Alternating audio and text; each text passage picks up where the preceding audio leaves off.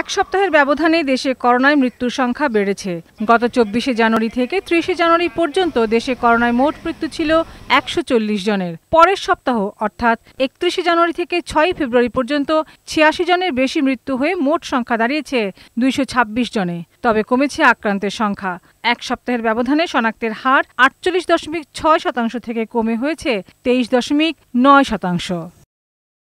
গেল দিনে করোনায় আটত্রিশ জনের মৃত্যুর তথ্য দিয়েছে স্বাস্থ্য অধিদপ্তর। চুয়াল্লিশ হাজার চারশো একাত্তর জনের নমুনা পরীক্ষায় করোনা শনাক্ত হয়েছে নয় হাজার তিনশো উনসত্তর জনের। নমুনা পরীক্ষা বিবেচনায় শনাক্তের হার একুশ দশমিক শূন্য সাত শতাংশ। এদিকে সচিবালয়ে স্বাস্থ্যমন্ত্রী জানান, এখন পর্যন্ত দেশে দশ কোটি মানুষকে করোনার প্রথম ডোজ টিকা দেওয়া সম্পন্ন হয়েছে।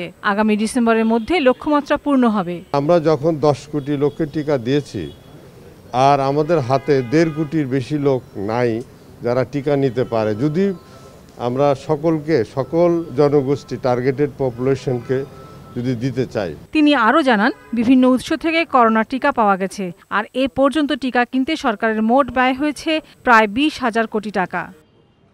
লাবণী গুহ, বৈশাখী সংবাদ, ঢাকা।